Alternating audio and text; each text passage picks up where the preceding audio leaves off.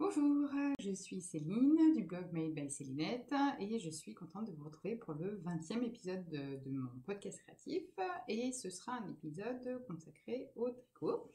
Alors bah, comme d'habitude, merci beaucoup à ceux qui reviennent, qui commentent. Euh, vous avez été beaucoup, nombreux, beaucoup nombreux, nombreux à commenter euh, sur mon dernier podcast, donc ça m'a fait très plaisir. Et bah, bienvenue euh, aux nouveaux qui arrivent, j'espère que ça va vous plaire. Donc euh, bah, écoutez, aujourd'hui nous sommes le jeudi 29 mars et euh, je suis chez moi puisque je suis en RTT pour garder ma petite Alice parce que ça nous un jour de formation. Pour tout vous dire. Donc bah, écoutez, j'en profite qu'il fasse pas trop mauvais. Alors comme vous le voyez, j'ai changé de cadre. En réalité, je suis toujours dans mon salon, comme d'habitude, sauf que on a tourné de mur. Et j'enregistre aussi avec un nouvel appareil euh, que euh, j'ai eu pour mon anniversaire. Donc j'espère que j'ai l'impression que les couleurs sont un petit peu plus fidèles, donc euh, on va voir ce que ça va donner. Écoutez, on va commencer tout de suite hein, parce que voilà, bah, comme d'habitude, Alice l'adore, hein, mais si elle se réveille, bon, je vais faire une petite pause. Bonjour à toutes les mamans podcasteuses. je sais que nous sommes nombreuses. voilà, bah, écoutez, on va commencer tout de suite par les projets terminés. Alors j'en ai deux. Le premier projet terminé, euh, c'est le hum, pull Maric euh, de Elong avec Anna que euh, j'ai fait pour ma filleule. Et en fait, j'ai tourné ce week-end la vidéo de présentation parce que je voulais pouvoir lui envoyer. Donc, je vais l'insérer ici. Alors, je vous retrouve avec la partie du podcast consacré au modèle Maric de Longue avec Anna. Comme vous voyez, Alice est à côté de moi. Donc, du coup, vous risquez de l'entendre un petit peu. Euh, donc, euh, le, modèle Marie, c'est un modèle de pull euh, de longue avec Anna qui est parfait en fait pour débuter en jacquard. Donc, le modèle de présentation, enfin, la photo de modèle de présentation, c'est celui-là. On l'a pas mal vu maintenant sur les réseaux sociaux. Donc, du coup, c'est un modèle qui se tricote en bottom-up. Euh, les manches à part, on rejoint euh, le corps et les manches à ce niveau-là. Et ensuite, on fait le yoke avec euh, le motif. Je vais vous montrer bien. voilà, donc moi j'ai fait celui-là. Alors, je suis contente parce qu'en fait, je tourne avec le nouveau jouet que je me suis offert pour mon anniversaire, qui est une tablette ordinateur. Et donc, du coup, je trouve que la couleur est vraiment bien.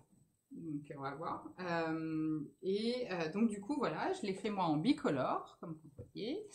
J'ai utilisé euh, la laine Partner 3,5. Le coloris principal, c'est le coloris berlingot. Et le blanc, bah, c'est le coloris blanc, hein, tout simplement. voilà. J'ai utilisé quatre pelotes du coloris principal et même pas une pelote du blanc. je l'ai tricoté comme vous voyez, pas pour ma fille, hein, manifestement. Euh, je l'ai tricoté en taille 2 euh, ans pour ma filleule qui a 3 ans et qui est grande. Donc là, vous allez me dire, non mais... Euh, et en fait, c'est tout simplement, évidemment, puisque mon échantillon n'était pas la bonne taille. mon échantillon était plus grand que l'échantillon du modèle. Et donc, du coup, en faisant un 2 ans, je tombais sur la taille 4 ans. Et évidemment, j'ai fait très très attention de bien bloquer aux mesures hein, pour être sûr que euh, ça lui aille. Voilà, donc notamment en largeur et au niveau de la longueur euh, des bras, j'ai fait attention. Donc ça veut dire qu'en fait, en termes de largeur, j'ai le même nombre de mailles que la taille 2 ans. Pareil pour les manches, j'ai le même nombre de mailles que la taille 2 ans. Par contre, pour tout ce qui concernait les hauteurs, donc la hauteur du corps et la longueur des manches, euh, j'ai regardé la taille 4 ans pour que ça soit la bonne, euh, la bonne longueur. Donc c'est un un bottom up. Euh, moi c'est définitivement pas ma construction préférée. C'est beaucoup utilisé pour les modèles pour enfants. Euh, moi j'aime pas. pourquoi? Tout simplement parce que au niveau de, du, raccord, on va dire des manches et du corps. Alors quand on tricote déjà, il y a un moment où on a énormément de mailles, c'est assez serré, enfin c'est pas très très confortable. Et puis surtout, je trouve que le raccord dessous les bras, euh, moi, j'arrive pas à ce qu'il soit net. Euh, cette fois-ci, j'ai fait euh, du, un rabattage trois aiguilles au lieu d'un grafting. Hein, voilà, ici. Donc, ça fait une sorte de petite couture à l'intérieur. Donc, j'ai voilà, J'ai rentré les fils, mais je, il vient de sortir du blocage, donc du coup, je vais recouper évidemment les fils. Euh, voilà, donc ça c'est vrai que le bottom-up, moi je suis pas fan. Euh, il y a malheureusement beaucoup de modèles pour enfants ou bébés qui sont comme ça. Euh, mais là j'ai vu que le prochain modèle d'Anna c'est un peu bien. Voilà, donc c'était mon premier jacquard. donc je, je, suis très loin évidemment de la maîtrise de Anna ou alors de Magdalena Triple L de Mag qui là juste est une déesse. voilà. Euh, du jacquard euh, qui a une régularité, c'est juste euh, somptueux. Enfin, ce qu'elle fait, c'est magnifique, moi j'adore. mais bon, quand même, je suis, plutôt contente de moi pour un premier jacquard. Alors par contre, clairement, le blocage a eu un effet superbe. parce que, vous voyez, avant le blocage, c'était comme ça. J'ai pris des photos pour montrer la différence avec le blocage. on voyait que c'était... Mes euh, on voyait que c'était un petit peu tout gondolé, euh, voilà, que c'était pas très beau. Pourtant, j'avais fait vraiment très très attention d'avoir essayé d'avoir la main souple, etc. Alors moi, je, tricote le jacquard euh, comme je tricote normalement, c'est-à-dire avec le fil dans la main droite et en lâchant en fait le fil pour changer les couleurs. Je pense que pour mon prochain essai. Euh, J'essaierai méthode continentale à main gauche et euh, méthode classique à main droite, qui est, je crois, la manière de faire de Magdalena. Euh, et qui parlait de, du jacquard, notamment dans son dernier épisode, ce que j'adore Alors, je vais vous montrer la différence entre les deux. Donc, oui, vous avez vu, avant le, blocage, on, on, voyait que c'était bien, c'était bien gondolé vraiment, j'avais fait attention, mais voilà. Et après, après le blocage, c'est beaucoup plus lisse. Donc ça, je suis, je suis très contente de l'effet du blocage. On voit que ça s'est vraiment beaucoup lissé au blocage. C'est pas encore parfait mais, après le blocage, mais, mais quand même, c'est beaucoup, beaucoup plus joli.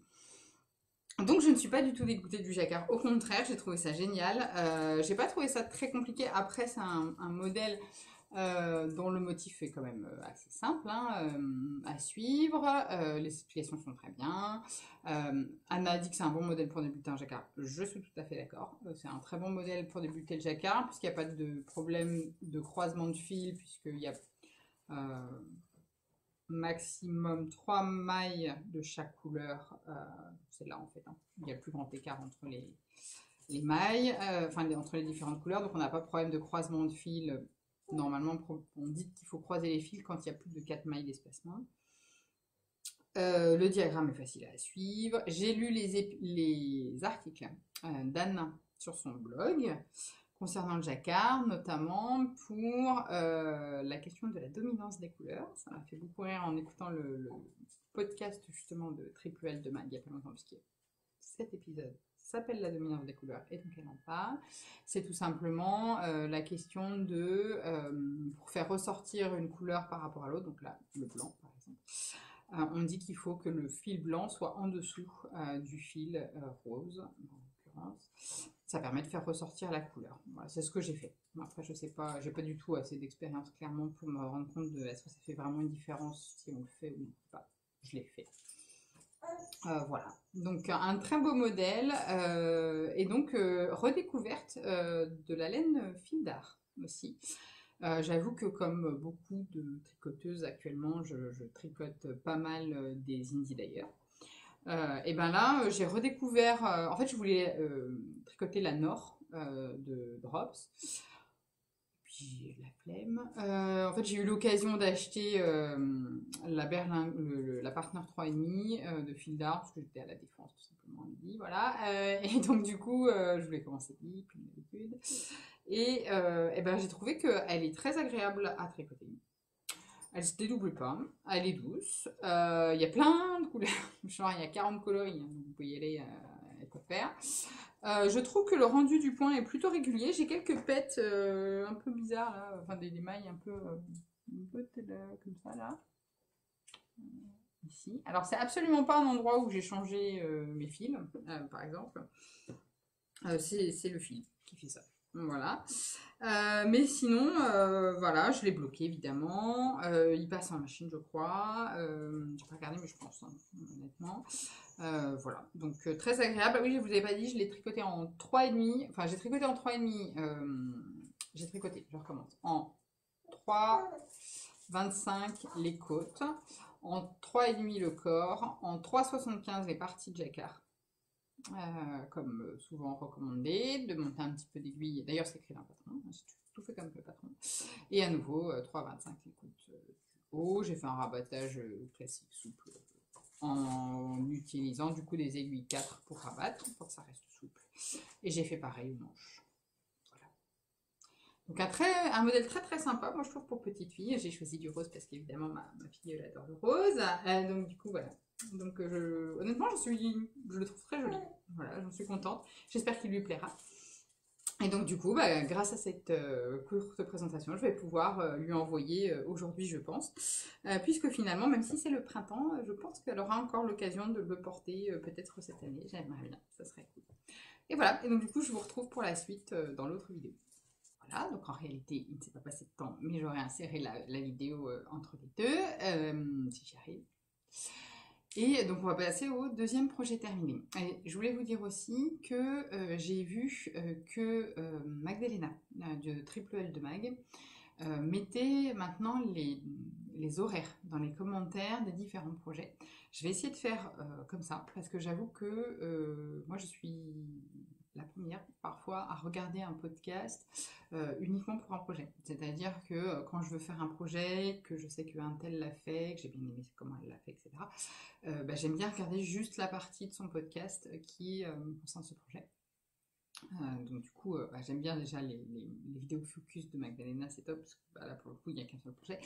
Et, sinon, je mettrai les, minutes, comme ça vous pourrez regarder ce qui vous intéresse, ce sera mieux. Je regarde aussi des podcasts en entier, hein, je vous rassure.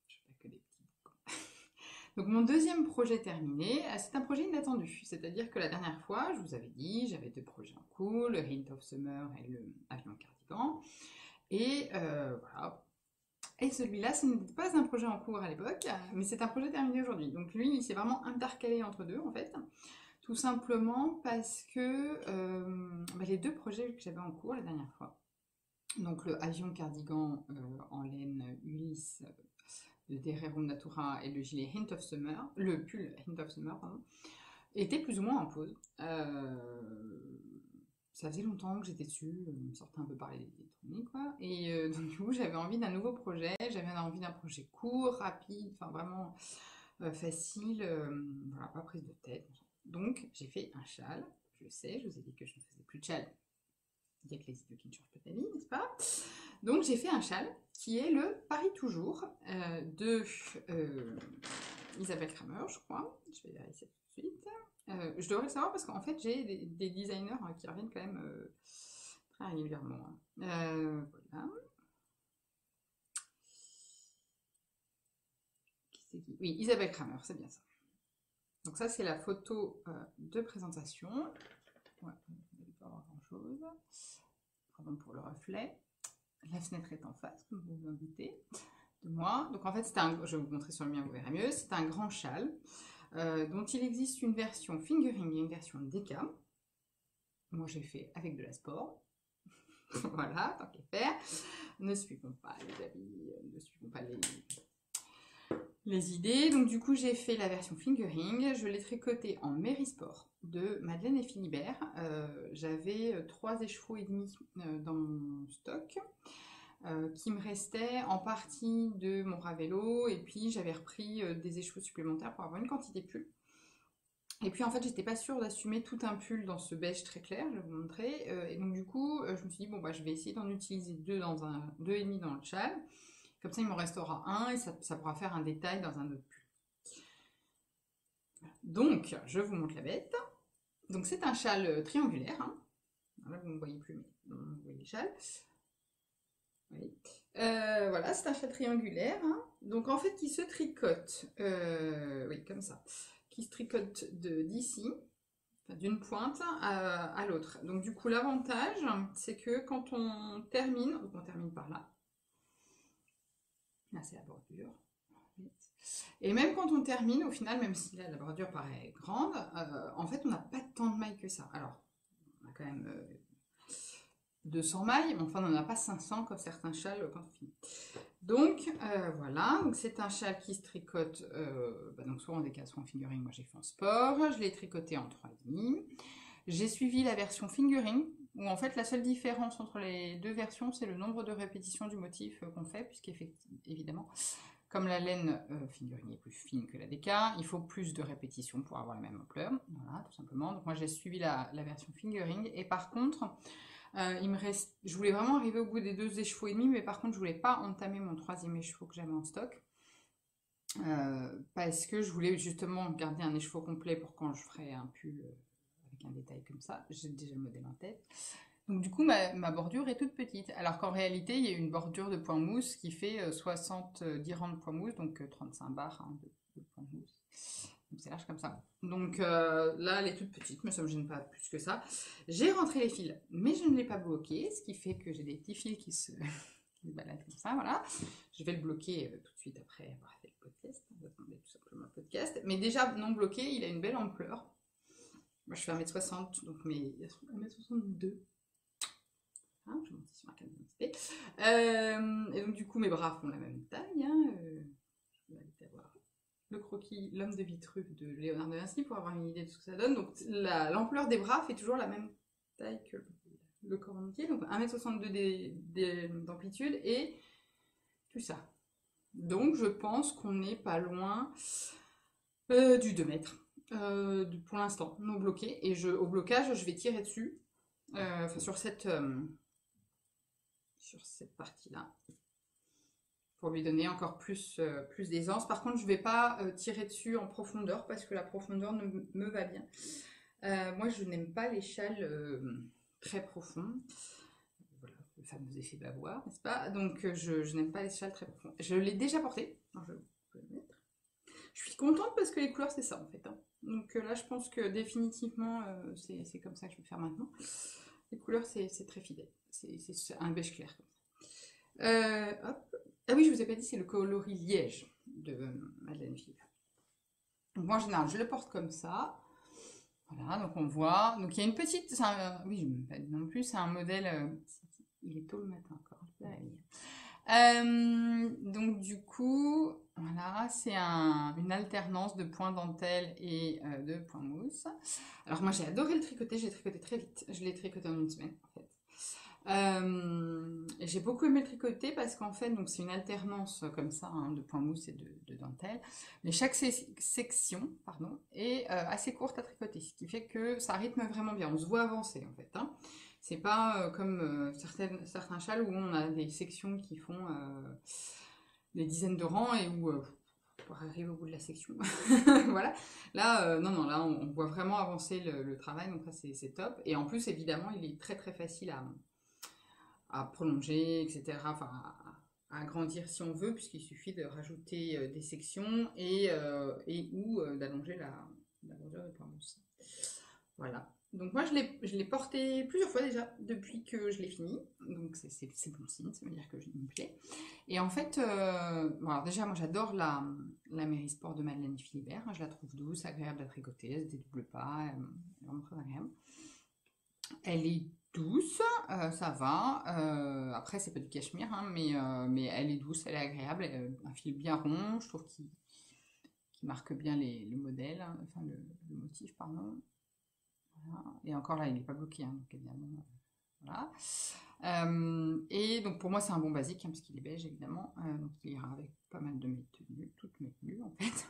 Et en fait, j'aime bien, euh, je l'aime bien aussi parce que tout simplement, donc comme il est en sport, bah, je trouve qu'actuellement, c'est un bon compromis euh, entre la grosse écharpe euh, en cachemire que m'avait offert ma mère il y a plusieurs années qui est commence à être un peu chaude, voilà. Surtout le matin, ça m'est arrivé plusieurs fois cette semaine, quand je pique une suée, rien qu'à amener poupette comme ça de chez la nounou avec le sac d'ordinateur, le sac à main, euh, et monter les trois étages, puisque notre nounou est au troisième étage. Donc voilà, donc euh, quand on a en plus un gros, voilà, on a chaud et chaud. Donc euh, donc c'est un bon compromis entre la grosse écharpe et le petit foulard ou la petite truc en fingering où là pour l'instant c'est encore un peu juste je trouve. Donc c'est vraiment un bon compromis, vraiment j'en suis très contente. donc voilà, donc je vais le bloquer et puis, et puis voilà, je vais pouvoir continuer à le porter. Donc je suis contente parce que ça m'a fait donc deux échoués et demi dans le stage contrôle. Je vous, euh, dirai tout à l'heure ce qu'il en est, le bilan de mars. Et, euh, et c'est un bon basique. Voilà, donc ça, c'était mon deuxième projet terminé, puisque je vais parler aussi du Maric. de Longue avec Anna. Donc ça, c'était les, les, projets terminés. Alors, en projet en cours, je suis censée en avoir deux, puisque la dernière fois, je vous ai parlé de deux projets et, euh, que manifestement, ils ne sont pas terminés. Donc, euh, je suis censée avoir deux en cours et en réalité, je n'en ai qu'un, qui est le Hint of Summer. Tout simplement parce que j'ai détricoté mon avion cardigan. Alors, j'aime toujours le modèle, hein, je, compte bien le, faire un jour. C'est juste que j'étais pas convaincue finalement du combo. Enfin, plus j'avançais dans le corps et plus, le combo laine modèle, euh, et en particulier devant en brioche avec ce rose J'étais pas sûre. Donc, euh, donc il était en suspens depuis plusieurs semaines. Et alors chez moi, en suspens pendant plusieurs semaines, ça veut dire projet boulet que je ne suis pas sûre de porter. Donc, euh, c'est ce que je disais sur Instagram. Ma bonne résolution de l'année, c'est euh, s'il est en pause pendant trop longtemps, ça veut dire que je ne le porterai pas. Donc, je le détricote. Donc, voilà, voilà. Donc la couleur est, toujours euh, magnifique. Je sais déjà ce que je vais faire avec. Je vous en reparler. Je sais déjà ce que je vais faire avec. Je suis vraiment contente là. Le, rendu des couleurs là, c'est. Oui, il n'aura fallu que deux ans et demi pour trouver l'endroit où filmer. Euh, c'est top. non mais je pense que l'appareil il fait énormément. donc voilà, donc j'ai tout remis en, pelote. Hein. J'en ai, ai quatre. Voilà, j'ai aussi des aiguilles trimbales, ça c'est une bonne idée. Voilà, donc ils sont dans mon mon sac à projet de Blissful Emily. Voilà, donc j'ai mes quatre pelotes qui correspondent à mon, à mon cardigan que j'ai détricoté et, euh, et donc voilà, donc je l'ai remis en, pelote et puis euh, je vais réutiliser la laine, c'est pas un problème. Donc je vous en reparle tout à l'heure et donc du coup l'autre projet en cours pour le coup est toujours en cours, je l'ai côté, c'est mon Hint of Summer. Alors le Hint of Summer c'est un pull toujours euh, d'Isabelle Kramer, hein, quand je vous disais que j'ai des j'ai des designers que j'aime bien tricoter. Alors Isabelle Kramer, clairement, ça en fait partie. J'ai déjà tricoté plusieurs modèles d'elle. j'aime bien sa manière d'expliquer tout ça. Donc voilà, donc mon Hint of Summer. Alors là, par contre, le rouge, il y a du mal. Alors, ouais, c'est un peu trop saturé là. Il est un peu, il est plus foncé, mais c'est quand même un vrai rouge, hein, donc euh, voilà. Il est quand même un peu moins orange que ça. C'est quand même un vrai rouge. C'est pas grave. Et euh, donc voilà, donc euh, c'est un pull en col V, comme vous le voyez, et c'est un pull avec de l'aisance, mais moins que le boxy. En gros, il rentrerait dans le cal, enfin il rentrerait. En termes d'aisance, il rentrerait dans le cal de Liz Taylor qu'elle a lancé sur les pulls loose, mais évidemment, je l'avais commencé bien avant le cal, donc je ne peux pas le mettre dedans. Donc j'ai fait les deux manches. Voilà. Et voilà. D'ailleurs, j'ai fait, alors la première manche, je l'ai fait comme le modèle, c'est-à-dire quelques barres de, points mousse, euh, il y a un rabattage, mais ça me plaisait qu'à moitié. Donc sur le deuxième, euh, la deuxième j'ai tenté des côtes, qui ne me plaisent pas non plus. donc voilà. Donc euh, je vais détricoter et je vais tenter des côtes torse. Parce qu'en fait, je voudrais un rendu vraiment plus serré. Là, je trouve que elle, ça, donne un rendu pas beau. Les côtes sont belles, je trouve je vais changer. Et donc là, j'en suis, bon bah, j'en suis dans la mer de Jersey. Je suis allée au... Je suis allée à tricoter cette semaine et euh, elles, ont, vraiment, euh, elles ont eu pitié de moi, je crois. Je n'en peux plus. J'en ai trop marre. en fait, j'adore le modèle, j'ai hâte de le porter, je sais que je vais le porter parce que c'est une couleur qui me plaît beaucoup. Alors, heureusement qu'il y a la laine euh, magnifique de Yarn by Simone, je ne vous ai même pas dit, mais euh, c'est de la Merino Super Wash de Yarn by Simone, coloré True Blood. C'est vraiment ça, True Blood comme couleur. Et, euh, mais alors par contre, je tricote en 3,25. Donc voilà. Donc c'est très long, 40 hein, cm de corps en 3,25, on va pas se mentir, c'est long. Euh, donc d'autant que je pense que je vais le rallonger un tout petit peu pour aller à 42, parce qu'en fait mon boxy c'est un 40 cm et il fait 40 cm de corps. Et 42, ce, sera encore mieux. Euh, et alors, du coup, euh, comme je n'en peux plus de cette merde de Jersey, là, je me suis. Euh, je, je, recommence. J'ai fini le Maric la semaine dernière. Et j'ai détricoté le avion ce week-end. Et donc, je me suis dit, j'ai vu quel serait mon prochain projet pareil ce week-end, mais c'est dans le cadre d'un cal qui commence vendredi. Donc je me suis dit, bah non, c'est débile, je vais monter un projet pour une semaine. Donc je vais reprendre mon malheureux Hint of Summer qui n'avance pas. Donc. Et euh, pour essayer de me motiver, je fais comme Magdalena, c'est-à-dire que euh, je mets un progress keeper, donc tout simplement un marqueur. Donc ça, c'est ce que j'ai fait depuis lundi. Voilà, on est jeudi matin. Bon, ça a avancé, hein, mais euh, c'est long quand même. Voilà, donc là, je sais pas combien j'en suis du corps. Je pense qu'on en est presque à 30 cm, à mon avis, près. voilà, donc bah, il me reste encore, un peu à faire. Hein. Donc euh, voilà, j'espère le finir, je veux le finir euh, la semaine prochaine, quoi. Pas plus tard, parce que là, Et puis en fait, je me suis rendu compte que euh, je suis monoprojet qui avance. C'est-à-dire que moi, je suis typiquement, typiquement pardon, partie des gens qui... en fait, il n'y a qu'un seul projet qui avance. Quoi. Quand j'en ai plusieurs, des encours, j'en ai toujours un préféré. Je suis pas comme Magdalena qui arrive facilement à, alterner les différents projets qu'elle traite, mais moi, j'en ai vraiment un, quoi. Je, fonctionne vraiment euh, au coup de cœur, c'est-à-dire que quand je commence un projet, euh, limite, je peux pas le lâcher. Je, suis bien le genre à dire t'inquiète, je fais encore deux rangs, après je viens me coucher. Hein. hein comment ça Il s'est passé trois heures, il est deux heures du mat. Euh, voilà, bon. donc, ça, c'est bien mon genre. Donc, donc en fait, j'ai un mono-projet qui avance. Et donc, du coup, voilà, j'essaye de me concentrer quand même sur celui-là pour qu'il avance. Mais je pense que je vais quand même me faire plaisir euh, pour euh, commencer. Mon futur projet attend pour le cal. c'est une transition parfaite, n'est-ce pas? Donc, en futur projet, je veux faire le Winterfell Cardigan. Voilà. Donc, c'est un patron de Catherine Schneider, qui est la même designeuse que le avion cardigan.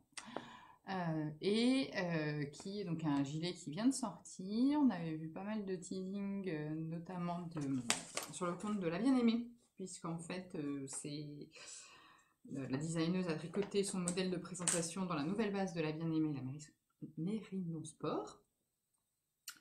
Donc, voilà. Donc, du coup, on, l'avait pas mal vu, et là, il vient de sortir, et donc, triple L de maille et d'autres personnes dont j'ai oublié le nom et je m'en excuse, je le montrer ici. Euh, cal qui débute euh, vendredi, euh, qui va jusqu'à je ne sais plus quand, et euh, autour de ce modèle. Donc du coup, je me suis dit, bah, je vais faire ce modèle dans la Ulysse de Dererum Natura que j'ai récupéré de mon avion cardigan, donc c'est parfait, on reste sur la même designeuse et la même laine, c'est juste pas le même modèle, voilà, on va dire. Et, donc du coup, j'ai tout, j'avais tout détricoté, lavé et remis en écheveau, donc moi, en bobine, pardon, moi, je, quand je détricote, je me remets en écheveau, je lave les écheveaux pour éviter qu'ils ne... comme ça, et puis après je les fais sécher et je les rebobine pour faire des cakes. C'est ça le résultat. Et vraiment la couleur me plaît beaucoup. Et donc du coup j'ai hâte de commencer, donc c'est demain. donc j'attends demain pour pouvoir le monter. Euh, sachez que, donc ça a été indiqué dans la page du cal, mais sachez que euh, Catherine Schneider a euh, mis sur sa chaîne YouTube qui s'appelle Catherine Schneider Designs. Hein, donc Schneider, ça s'écrit S-C-H-N-E-I-D-E-R. elle a mis en fait des vidéos pour expliquer le point. Alors là, on voit pas très bien, mais en fait, il y a des mailles glissées en diagonale sur tous les devants qui font des petites motif, un petit motif de diagonale. Euh, et, elle explique en fait sur, son, sur ces deux vidéos comment faire, puisqu'en fait elles sont orientées euh, à droite et à gauche. Et donc du coup, elle explique comment faire. Les vidéos sont très bien faites. Moi je les, je les ai suivies et euh, j'ai compris le point très rapidement, du premier coup en fait. Donc elles sont vraiment bien faites. Il faut, les regarder plusieurs fois histoire de s'imprégner. Après moi j'ai fait en même temps sur un échantillon. Voilà. Donc j'ai hâte de commencer. Ce sera donc ce modèle avec cette laine.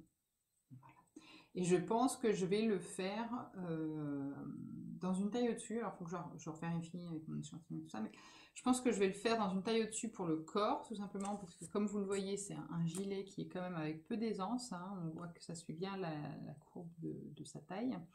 Et moi, j'aimerais bien le porter plutôt en mode un peu veste euh, pour le printemps.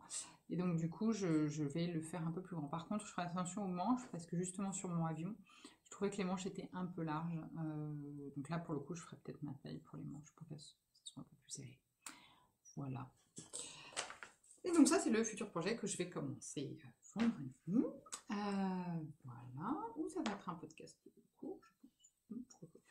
Alors ensuite, dans les achats et le bilan euh, stash sous contrôle, euh, eh bien, euh, dans le bilan stash sous contrôle, j'en suis à combien? Regarder. Parce que bah, je suis la fille de ma mère, n'est-ce pas? Donc vous aurez compris que j'aime bien tout ce qui est organisation, je pense. Et, et si je parle de ma maman, c'est que elle, est très feuille Excel dans l'organisation de tous les jours. Euh, ça fait mourir de rire mon mari, je veux dire. Et euh, du coup, j'ai fait pareil que maman. Et donc, je me suis fait euh, une petite feuille Excel pour suivre le stage sous contrôle. voilà. Donc, en fait, j'ai fait une colonne tricotée, une colonne achetée, une colonne commentaire. en fait, je dis le projet pour lequel j'ai tricoté ou les pilotes que j'ai achetés. Et à la fin, j'ai le bilan du mois avec une formule, dis donc, euh, qui me sort le bilan euh, du mois et le, euh, aussi le bilan total qui est donc la somme évidemment des bilans de mois. Donc sur le mois de mars, j'ai tricoté donc pour le Maric, j'ai tricoté deux écheveaux et demi pour le Paris toujours, mais j'ai acheté de la laine. Donc, je vais vous montrer la laine avant de vous dire quel bilan ça en fait. Alors, il n'y a pas longtemps, il y avait euh, la fête de la laine de Malakoff. C'était il y a le week-end dernier, je crois. Euh, moi, j'habite euh, pas loin de Malakoff. Et donc, du coup, je me suis dit, je vais y aller. C'est l'occasion. J'avais dit non, non, j'y vais pas parce qu'il faut pas que j'achète de ça. Et bon, bah, le dimanche, j'ai craqué, évidemment. le dernier jour, je me suis dit, ouais, mais il va pas rester grand-chose. Ça va, je vais rester raisonnable. N'importe quoi.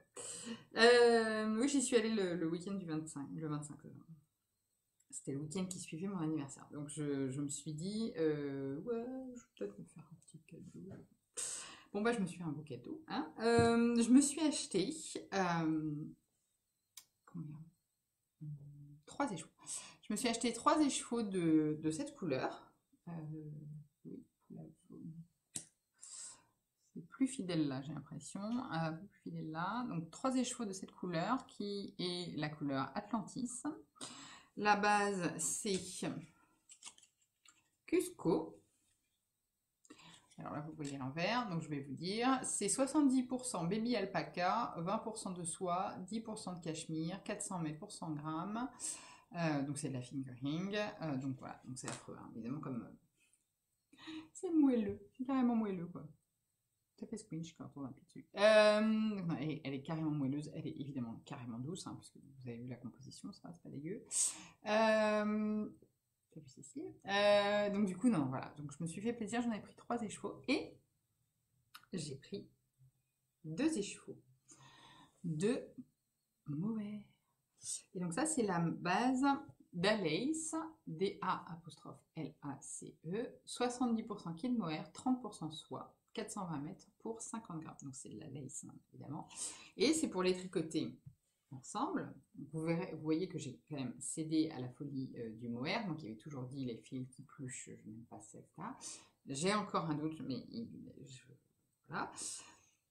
Et non, je ne vais pas euh, tricoter le pull euh, secret. je dis ça parce qu'on a l'impression que tout le monde tricote le pull secret en ce moment, qui est très beau, hein, pas de problème avec ça, mais, mais c'est marrant parce que c'est vraiment le, le pull le hit pull en ce moment. Non, moi je vais tricoter le, sur un nuage. Hein. J'ai toujours pas renoncé, hein, tête de bois.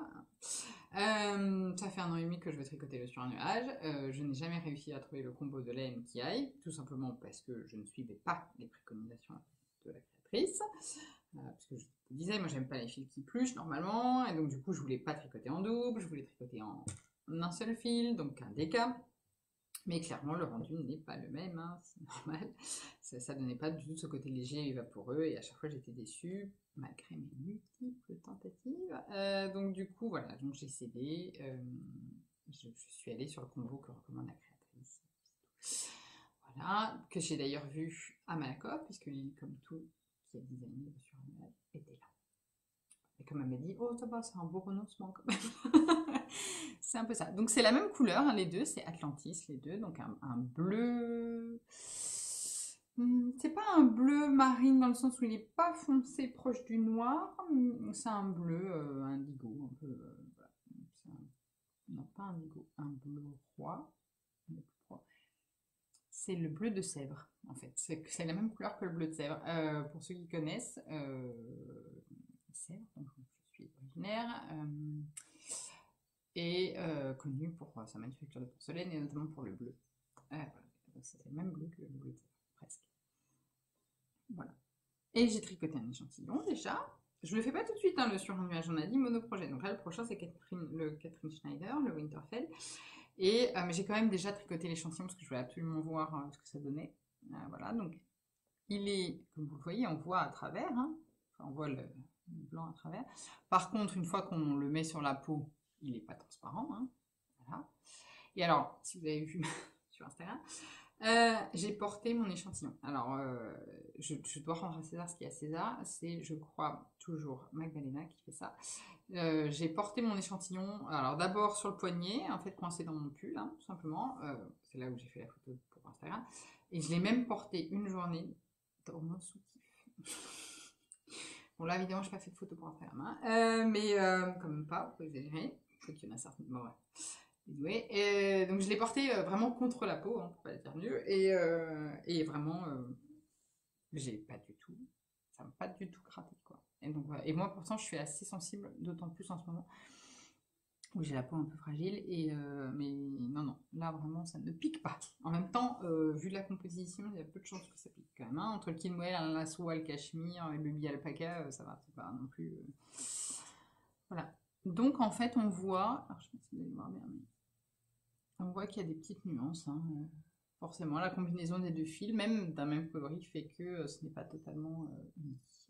Donc j'aime beaucoup, euh, je pense que le rendu me plaira énormément. C'est chaud. Quand je l'ai porté euh, sur moi, euh, quand je l'ai retiré, j'ai senti quoi, j'avais froid à l'endroit où c'était avant. C'est chaud, c'est un truc de fou quoi. C'est léger, c'est chaud, c'est doux, c'est magnifique. Donc je pense que je sais pas, je le voilà, Il est je pense que je vais adorer porter ce pull. Quoi. Vraiment, euh, malgré le, côté poil, à mon avis, il va falloir que je m'habitue quand même. Mais, euh, mais, alors, en termes de, douceur et de chaleur, je pense que je vais adorer. Alors, soit j'attends la rentrée prochaine, euh, parce que c'est clairement pas un pull là que je vais porter. ouais. mais je sais pas, là j'ai quand même, faut que je finisse mon Hint of Summer, je veux faire le Winterfell cardigan dans le cadre du cal, donc soit je le fais après, mais après, j'aimerais bien faire la marinière Bon, avec tout ça, on va être à l'été. Hein. Ça, ça continue comme ça. Donc, soit je le tricote cet été pour l'avoir à la rentrée, euh, soit je le tricote à la rentrée. Je verrai. Mais en tout cas, voilà, je, je l'ai. Et je l'ai mis dans le cadre de mon stage sous contrôle. J'ai rentré les 5 écheveaux euh, que j'ai achetés. Euh, voilà. Et j'ai aussi rentré 3 écheveaux que j'ai achetés chez la pelote vagabonde, mais je ne les ai pas là. Donc, je vous les montrerai quand je les ai reçus. Tout ça faisant que j'arrive à un bilan euh, pour le mois de mars de euh, plus 3,5, c'est-à-dire que j'ai 3 chevaux et demi en plus dans mon stage pour que le mois prochain, il va falloir tricoter. D'autant que euh, ceux-là que je vais tricoter ne vont pas compter, puisqu'en fait, je les avais déjà comptés comme étant tricotés. Donc, comme j'ai des faits, voilà, je ne les compterai pas évidemment comme tricotés. Donc, vraiment, il va falloir tricoter un peu. Bah, déjà, il va falloir que je finisse mon Hint of Summer, où là, ça va me compter un chevaux, parce que j'en ai deux en, cours. voilà. Donc voilà, donc les achats, les projets terminés. Bah écoutez, ça va pas être un, podcast très long, bah, ça arrive. Hein. En même temps, je pense que ça doit bien faire déjà 40 minutes. Donc... Euh, Alice ne s'est même pas réveillée, elle dort encore, euh, donc, euh, donc ça c'est top. Et puis bah voilà, bah écoutez, c'était tout. je ne sais pas si j'ai été très claire. si ce n'est pas le cas, Sachez que je vais renseigner euh, mes projets dans ma page Ravelry. Euh, et puis, euh, de toute façon, comme d'habitude, il y aura les informations en barre d'infos et sur le blog. et puis toujours, hein, n'hésitez pas à me poser des questions si vous le souhaitez. À bientôt